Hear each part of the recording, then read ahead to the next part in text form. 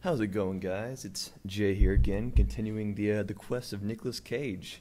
In our last episode, we uh we put him in this art museum, and uh, we did leave off one thing, which was that uh, this lady right here, her arm was pointing to the painting, but as you can see, it's been uh it's been covered up. So we're gonna fix that.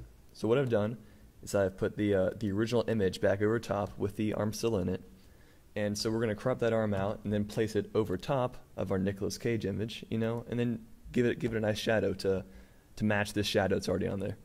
So what we're gonna do is um, first of all we're gonna select the pen tool, and why we're gonna use the pen tool to mask is because there's a little bit of gray area right in here to where it's all black, and if we use the quick selection tool, it may not be able to differentiate between these two colors right here. So we're just gonna go in here and just make a pretty pretty rough mask of where we think her sleeve would be and then just around your hand, around the finger, and back down the arm until we're off the painting. Now we're just going to connect it and then right click it to, uh, to make a selection.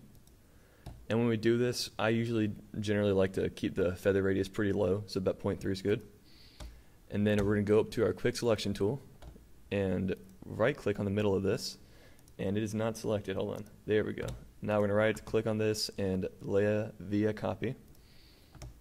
Now we can turn off this original image and now we just have uh, the hand right here. So I was a little bit sloppy with the uh, with her finger, but we can just clean that up real quick.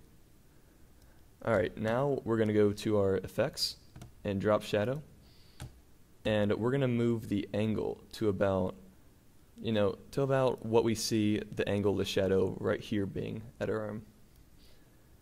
And we're just going to mess around with the distance and the spread you know till we till we see that shadow matching up with this shadow. So about there is good and then we're going to drop the opacity to to match that. And then we hit OK and that's it. That's how that's how it's done